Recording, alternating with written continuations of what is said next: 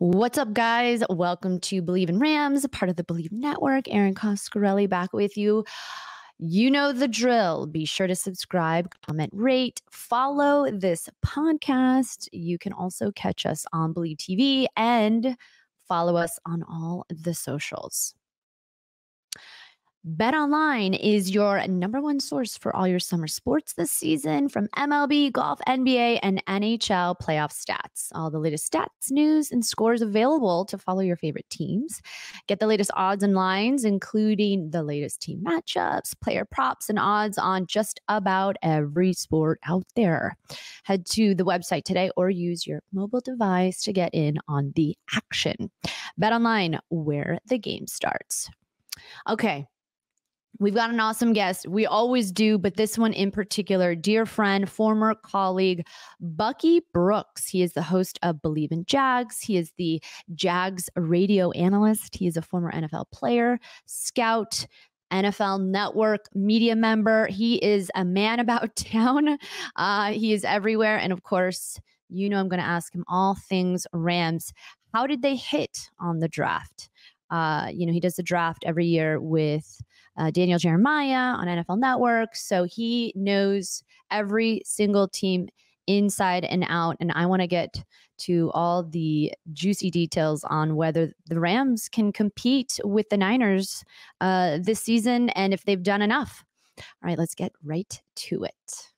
I mean, we always have an awesome show. Every guest is uh, is very cool, but this one in particular, uh, NFL colleague, former NFL colleague, you have your finger on the pulse, Bucky Brooks, when it comes to all things NFL. I I, I can't wait to talk to you about the Rams. But first and foremost, how you doing? Thanks for jumping on.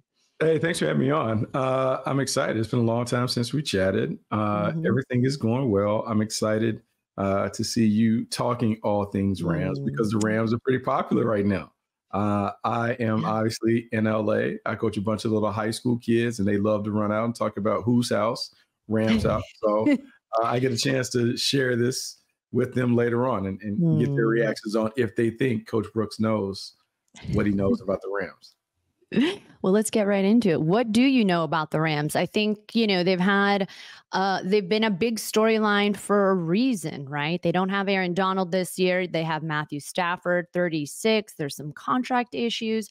You know, what's your take on the state of the Rams as we see them now post draft? Uh, I think they're ahead of schedule. Uh, anyone that looked at this team last year uh, would probably anticipate that it was going to be part of a rebuild. But for the team to play and perform like they did, to get into the postseason, to have the kind of season that they had with so many young players mixing with old established vets, while Sean McVay is also kind of having a cultural makeover within the building, to me it was a very, very impressive coaching job. And I think the building blocks are in place for this team. I won't say necessarily to be a contender, to but to be in the conversation for one of those teams that wouldn't be a, a surprise to see them emerge as one of the teams that ends up being at the top of the, the NFC or near the top of the NFC when it's all said and done. I mean, I think Rams fans, their biggest concern, especially in that division, is taking on the Niners. Have they done enough? And I know we're in May. We had Andrew Siciliano on the other day, and he's like, We're in May. So I don't know about the record. But from, you know, you're a former scout and obviously player and all things NFL. You know, what do you think the Rams do they still need to do something to compete to, with the Niners? Um, look, I, I think the Niners will always kind of carry the target on their back, just given the success that they've had the last four or five years. Uh, the fact that they've been to a couple Super Bowls, haven't won them, but they're kind of a team that you use as a measuring stick. The Rams have had success going toe to toe with the Niners. Um, that rivalry is real. It's uh, it's mm-hmm. funny to see uh, those teams square off, but we understand the magnitude of the rivalry. Uh, I believe that the Rams believe they can be on par with the Niners. I believe Sean McVay feels like that he kind of has a, a knack or he knows how to deal with the Niners when it comes down to it. It's a matter of continuing to get the young players up and going, and then some of the veteran players getting them back and being available. Cooper Kupp being available the entire time, because what we really haven't seen is how good that offense can be mm-hmm. when you have Cooper Kupp and Puka Nacua the entire time, you know, and, and what kind of creativity can Sean McVay use to unlock both of those guys while still getting the running game going with uh, Kyren Williams and then incorporating Blake Corum into the mix. Uh, offensively, they have exactly what you're looking for. The bigger question is, what is the defense going to look like post Raheem Morris and Jimmy Lake? I mean, that was going to be my follow up. In, in, terms of the biggest challenge you see on the horizon for the Rams, is it the defense? Uh, look, yeah, it, it, will be the defense just because you have a new defensive coordinator. And I, I tend to, you know, when you when you're talking to kids, and I'm talking about like players on my high school team, it's like playing a video game. You can have the same pieces, the same personnel, but if you and I are playing Madden, uh, we play the game differently based on what our preferences are. So how does Chris Shula utilize the chess pieces that are available in comparison to what Raheem Morris did and how he went about doing it? And let's factor in 99 is not there, which is different because with Raheem Morris, he had the luxury of having a three-time defensive player of the year at his disposal. You don't have that. You have young players, but how do you put that all together while maintaining the lofty standards that have been established for defensive performance in LA? Yeah, I mean that's the biggest hole, the biggest question mark is how do you replace number 99? And when Steve Wyche was on here, he's like, you just don't replace them. You, you try to find a way to compensate. Obviously, they targeted a lot of guys on the defense this draft.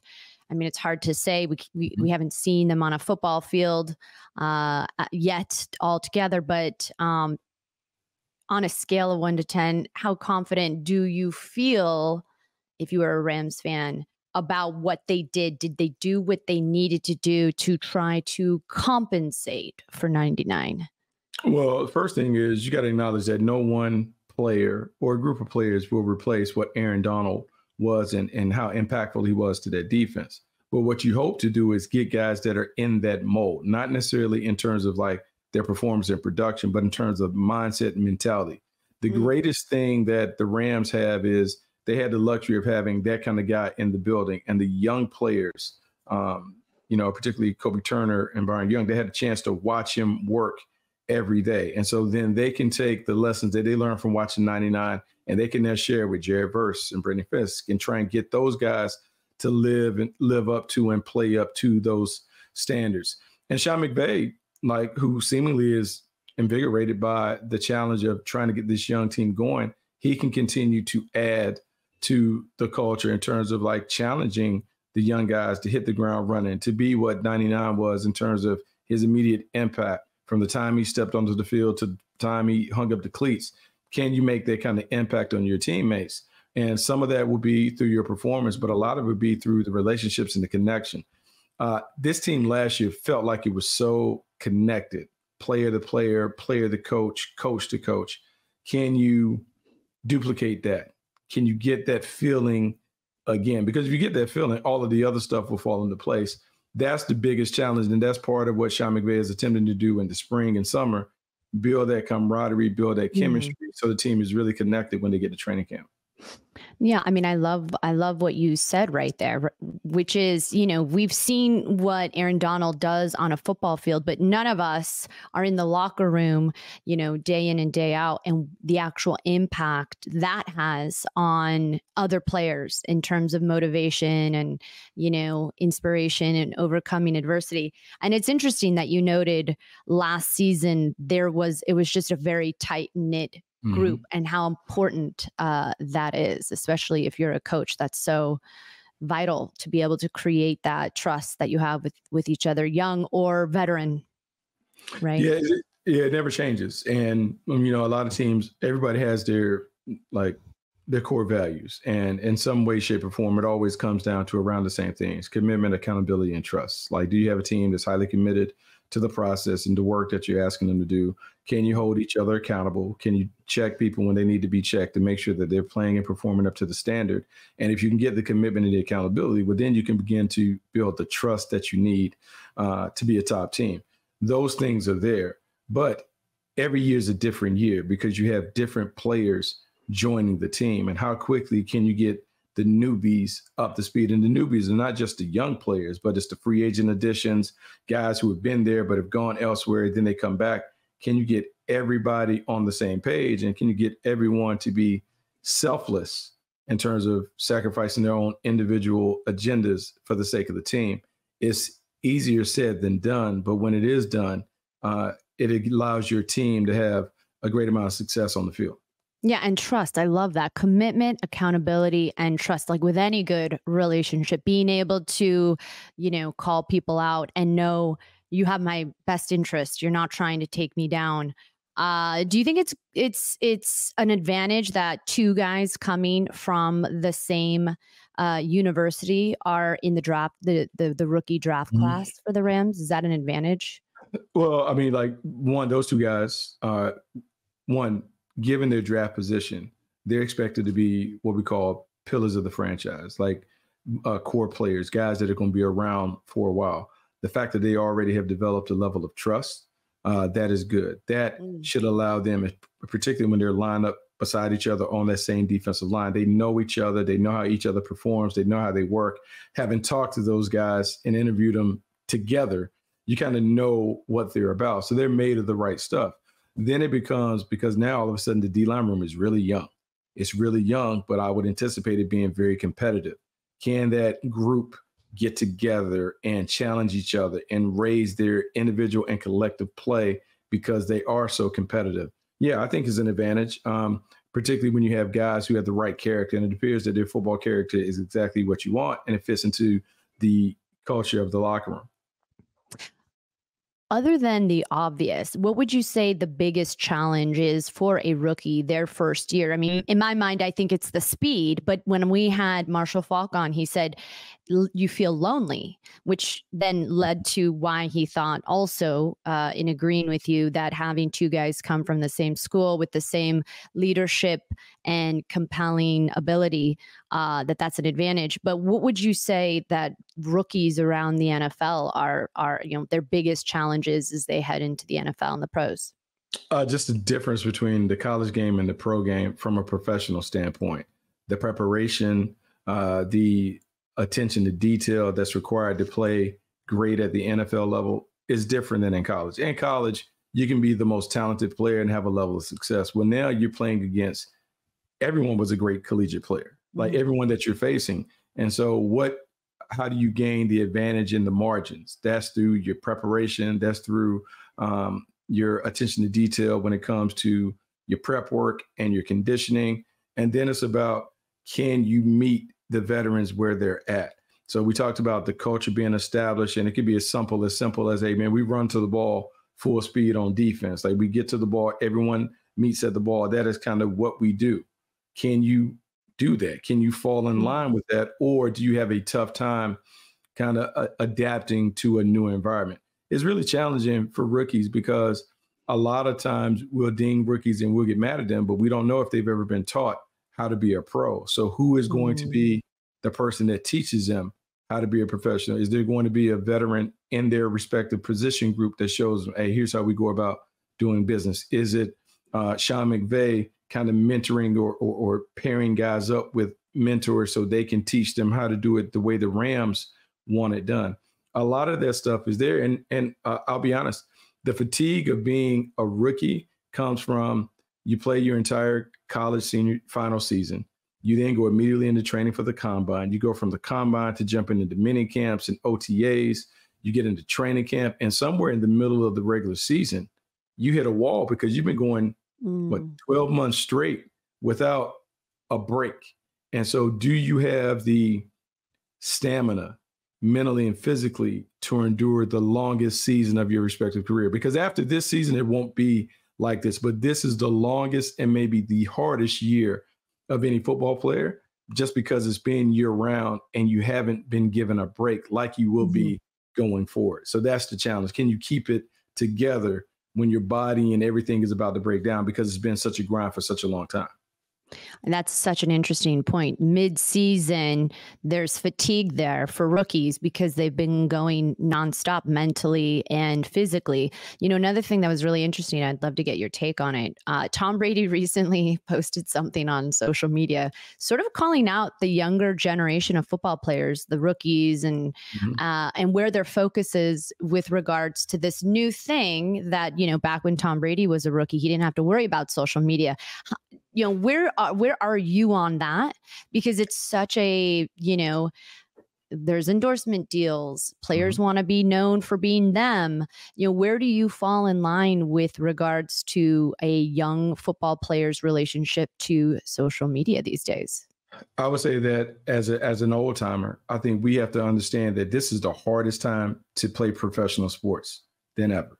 And the reason why is because more people have access to you than before when tom brady was a rookie and when i was playing in the league uh, in the 90s you, you people couldn't get in contact with you. You couldn't hear from every mm-hmm. fan. A fan had to interact with you face to face, or it, maybe the media would criticize you. Well, now anybody and everybody can get to you just on Twitter. They can directly comment uh, on on what you're doing, how you perform. They can do it in real time. So you go to the locker room, you pop open your phone, and you have a list of mm-hmm. notifications from people who are, in the ether, basically saying you suck, you're not good enough, you don't do this, why did mm-hmm. you do mm-hmm. that? All of these things in reality, I would say that you have to be equipped with thicker skin now than you had to back then. And when we talk about mental health and how people handle that, uh, look, I remember when I first jumped on Twitter, uh, I remember the first time people replied back, and it wasn't something in favor of what you did, and how you had to kind of stand back and be like, "Whoa!" And then, can you get past giving people uh, space in your head that really don't matter? I think that's that's really mm-hmm. hard for young players who everyone is seeking validation and affirmation in those things. And when you don't get it, because you remember, this generation has lived it out. They've lived out their entire mm-hmm. world, their entire life on social media, whether it's Instagram, TikTok, Snapchat, you know, Twitter. Like they've all engaged in that. And a lot of times, because they've been the best players, it's always been positive. Well, this might be the 1st mm-hmm. time that they're criticized and they hear and they receive negative feedback. And so you got negative feedback while you're trying to acclimate to the pro game, which is hard in itself. That's a lot being thrown at them when you're 21, 22, and just kind of on your own for the first time in your life. I mean, fascinating. Uh, I remember when I was with the 49ers back in 2013 and uh, Colin Colin Kaepernick on Twitter would like people that said negative things on him. And, you know, I just remember thinking, I didn't know if it bothered him or not. I didn't know how he was feeling as a media member. Um, but what I will say uh, is these players are human. They have feelings no matter how mm-hmm. much they try to turn things off.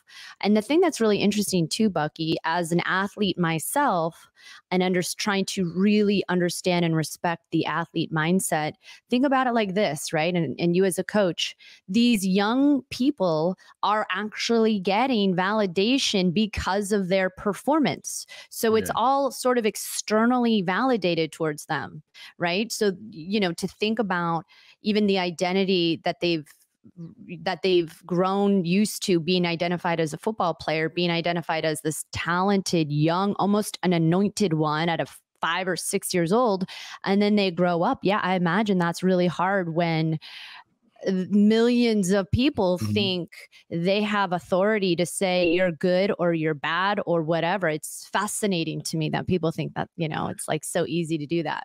Yeah, no, it's um, and so what they're navigating, not for the first time, but um, in in a major way, they're navigating a bunch of transactional relationships, right? Whether mm-hmm. real or not, because those relationships that you have on Twitter, they're not they're not real relationships, but it is a transaction based on we love you based on what you do, mm-hmm. Mm-hmm. and part of what you're trying to do, if you're Sean McVay and the Rams front office and all the people that work in player engagement, you're trying to equip the players with the tools to deal with the hard mm-hmm. stuff that is on the horizon. And you can't always do it like a in the weight room and on the field, but you have to prepare them for not only the the challenges that are ahead on the field, but the things that they have to face off the field. Mm-hmm. And the one thing about the National Football League now is you have more resources available to help them, but a lot of times, you know, the the unknown sports psychologist that works with the team, the unknown therapist that works with the players individually. They end up having a huge role in how the young players and even the older players kind of process everything that's being thrown at them while they're still trying to concentrate on being the best players that they can be for their team. So it's a lot that is going on, but the teams that are able to manage it individually and collectively are the ones that are the last ones standing at the end of the tournament and I and I appreciate that. I mean, we talked about it uh, before off camera how important the mental health side is, and you know, you just can't replicate that. You know, yes, of course, playing football uh, physically is is is such a challenge, but also the mental side of things. And you know, as a as a young athlete, I was decent. I played soccer and uh, and club volleyball. I you say tran- transaction like I as a young athlete was transacted whether mom and dad mm-hmm. verbally uh, validated me because I was a pretty good athlete, or then you you know let's say you're a young football stud, and the transaction then becomes your peers. They're approving of you, or women, or whatever whatever it is. It's it's a really dynamic thing and and I think it's important to talk about what these guys, these young men, have to go through when they enter the NFL so that we aren't so quick to judge or criticize. So, yeah, one of the things that the Rams have always been at the forefront of is making sure that they did a really good job of kind of uh, creating an orientation program for their players to succeed. Going all the way back to when Jeff Fisher was the coach, they were like one of the teams that was the last to really give their rookies contracts because they wanted to equip them with financial literacy mm-hmm. to deal with what they were about to have to face once they become like instant millionaires for some of them. Uh, they've always done a really good job of making sure they kind of put their young players in a cocoon to prepare them. And I would say I am encouraged when I look at Apuka Nacua, who's a fifth round pick who has a lot of success right away. And I look at some of the other young players that played well right away it appears that they have the secret sauce to get their young players uh, prepared and ready to play. Mm. With this class coming in and and how some of these guys, I mean, look, there, there are a bunch of them that are going to be counted on to, to be major contributors right away. How quickly can they get this class up and going? How quickly can they assimilate them into the program and help them find a way to be comfortable in a new environment. That's key. But some of that might have been, I say, uh, averted or the entryway may be easy for them because it's not a coincidence that it took older, more mature players, mm-hmm. guys that were fourth and fifth year players, guys that played at big programs, winning programs. Sometimes you try to go for guys in in that mold because it gives you an opportunity to get guys and fold them into the professional environment quicker than maybe some of your younger players who haven't exam- who haven't sampled some of the team success. They've had individual success, and they may be a little more selfish when it comes mm-hmm. to um, the process and how you buy in, or before they buy in to the team process. Mm. Love that. Uh, before I let you go, I do want to get your your pulse on what's going on at the quarterback position. Stafford's 36 years old. You know, uh, talk about his contract not being necessarily happy with the guaranteed money. If you're Stafford or if you're the front office, how are you seeing this play out? what's your take on a, a, sort of mildly disgruntled quarterback heading into uh, you know an important season for him? Well, the money is significant right now, the quarterback position. And when you're Matthew Stafford and you look around and you see $50 million being thrown around mm-hmm. annually to guys like Jared Goff and on the horizon, Tua Tagovailoa is going to probably get that. Trevor Lawrence would probably command that. You're Matthew Stafford. And even though you're an older player that is in the twilight of your career, um, the compensation is not so much how much money you make, but the compensation is a reflection of how the team views you, how they mm. value you. And so if you're Matthew Stafford, you taking this team to a Super Bowl and won it, you played, I mean, in a fashion that was very reminiscent of John Wayne in terms of being the old cowboy that's battling through mm. all the injuries. You want to just make sure that the team values you in, in a way that you feel appreciated. And the only way to show that appreciation, and look, it's not through words of affirmation, uh, let me see what that check looks like. Let me see what the salary looks like. Where do you put me in the realm of quarterbacks to show me that you really view me as a quarterback one that you want to be around for the foreseeable future? Mm-hmm. I mean, look, there's no shortage of, of juicy storylines coming out of LA. Bucky Brooks, so grateful to get your perspective on all things, whether it's on the football field or off the football field. I would love to have you uh, come back again, and we'll see what ends up happening with Matthew Stafford. Hopefully, he gets what he feels he deserves, and uh, can't wait for a, a very exciting uh, 2024 season. So, thanks again, Bucky, for joining. Appreciate it. Hey, thanks for having me on. Let me come on anytime.